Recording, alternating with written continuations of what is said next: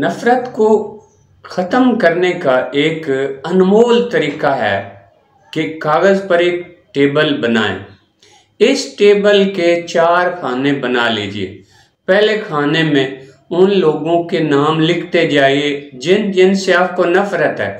دوسرے کھانے میں اس نفرت کی وجوہات لکھتے جائیے۔ تیسرے کھانے میں اس نفرت کو مٹانے کے طریقے لکھتے جائیے۔ چوتھے کھانے میں تلاش کر کر کے اس شخص کی خوبیاں لکھتے جائیے یہ مشق ہر روز دس منٹ تک کیجیے۔ یہ دیو ہے کل نفرت کے ہیولے سمٹنے لگیں گے۔ اور ایک وقت آئے گا کہ یہ آپ کو باریک باریک نکتے نظر آنے لگیں گے۔